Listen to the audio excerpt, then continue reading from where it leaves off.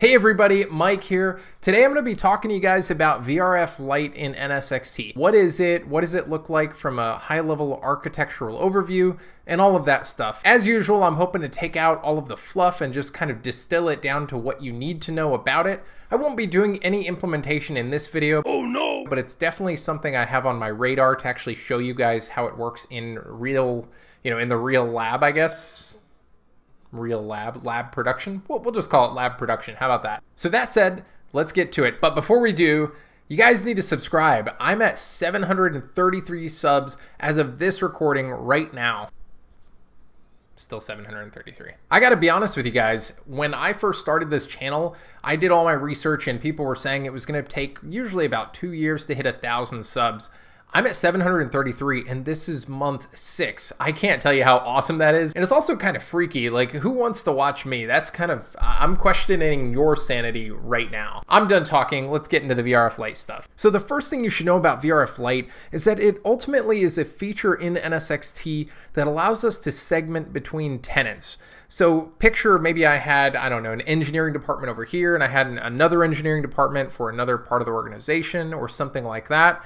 I can segment between the two and I can keep the VMs in each of those tenants completely separate. They can be connected to separate uh, segments, separate logical routers. Everything is completely separate from a logical standpoint.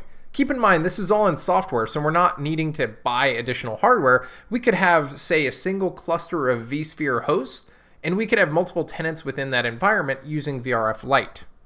Now, I know those of you that are really technical are probably wondering how NSX implements this. Well, the first thing I want to point out is there's no multi-protocol BGP or MPLS or anything like that behind the scenes. Basically, NSX is just kind of chopping up the logical routers, and I'm going to get into that in a little bit, but that's at a high level how it works. That said, it does run BGP from the VRFs. And I'll explain some of the terminology, and I got a slide coming up that'll make it a little bit clearer for you. But basically, think about it like this it runs BGP from NSX VRFs to non NSX, so to your physical network, top of rack router, switches, whatever the case is. It'll run BGP between there, but there's no BGP like within NSX to implement VRF Lite, if that makes sense. So the best way I can explain VRF Lite is think about it like you're taking a tier zero, a tier zero logical router, and you're kind of splitting it up, you're virtualizing it in a way. So it's kind of the same way that vSphere did for physical servers, where we took a physical server, we virtualized everything, and then now you have a bunch of VMs ultimately, which are just kind of mini servers living on that physical server. It's the same idea. So you're going to have your tier zero that you had before, but now you're going to have individual VRFs within that tier zero, and they'll kind of look like a tier zero in the GUI, but basically they'll inherit some things from that kind of parent T0. So some of those things that will not be inherited, so each of those virtualized T0s or VRFs, they'll get things like their own IPs. So your VRF will actually have its own external interface IPs going to the physical network. It'll also have its own BGP neighbors, which I'll show you in the next slide. It'll have its own gateway firewall. It'll run NAT on its own. And basically, that's it. There's a couple of other things that you can tune and tweak for that VRF T0. But as far as things that are inherited from that parent T0, because remember, when you create the VRF, you're basically going to link it to the parent. And when you link it to that parent, it's going to inherit certain things. That'll be things like the HA mode, the edge cluster, uh, BGP local AS number. So if I have, say, BGP local AS 100 on my parent T0, and I go say, I want to create a VRF, and I link it to that T0, well, guess what? I'm using AS 100 for that VRF instance as well.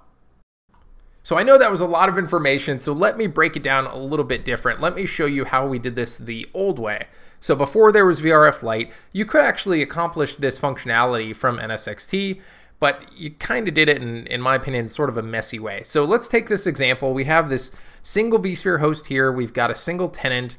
We've got an edge cluster and a T0 sitting on top of that edge cluster. And by the way, when I say edge cluster, I want to be clear. If you followed my other videos through my NSXT from scratch series, this should be clear.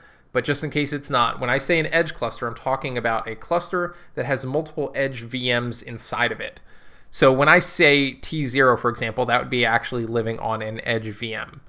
That said, we also have the physical router here. This could be, again, this could be a physical router or a layer 3 switch, or whatever the case is. It doesn't really matter. Now let's say we wanted to set up this tenant. We go ahead and into the GUI, we say, okay, we want to create a T1. We link it to a T0. That's all pretty standard. That's the same NSX you know and love if you followed my other stuff.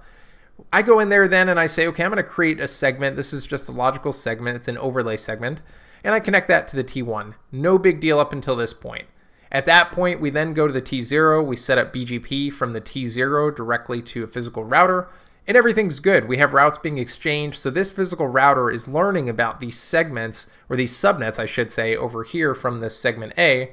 It's learning about that via BGP. And vice versa, that T0 is learning about basically all routes outside of NSX from that physical router. So that's nothing new, or it shouldn't be anything really new. But let's expand it to another tenant. So now we have this tenant B here, and we go ahead and we create the same kind of constructs. We create a T1 there, we create this segment B here, we connect it to a T1. But here's the thing, we would have to create a separate edge cluster. And here's why, because within NSXT, you can only have one T0 per edge cluster.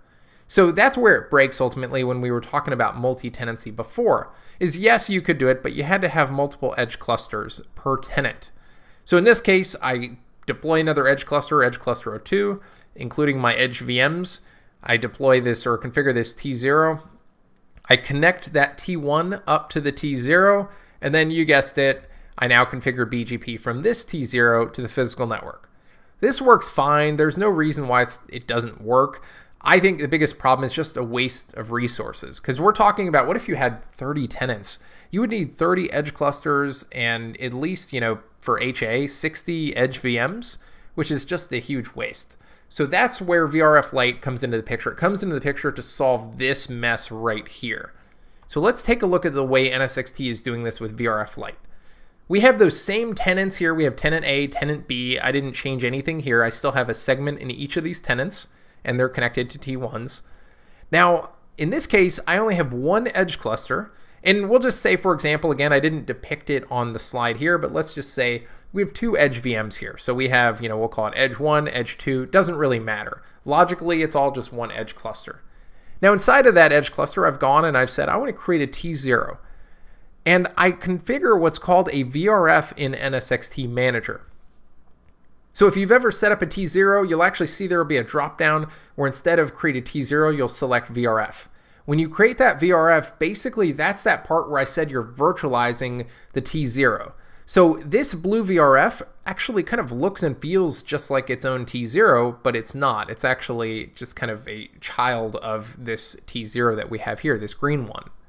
And then basically from there, everything else is the same NSX you know. You would go to your T1, and instead of your uplink being this T0, this green T0, your uplink would actually be blue-VRF. And then the same thing would be true for the other tenants. So we'd create, say, a red-VRF, and then we link that T1 up to that red VRF. And then same thing as you saw here with the blue VRF, we set up BGP from the tenants directly from these VRFs. So it's not a requirement that you run BGP from the underlying or from the parent T0 to the physical network. That's not a requirement at all. You would just basically be running BGP from the VRFs, if that makes sense. Now, I do want to mention that when we think about this design, it, you can tend to look at it and kind of think that, okay, well, how does it route between tenants, right? If I want to go from tenant A to tenant B, how do I do that? And the answer is that routing would actually have to happen on the physical fabric. So in this case, you would actually route to your edge cluster, and then it would route out to the physical network, and then come back in to go to that other tenant.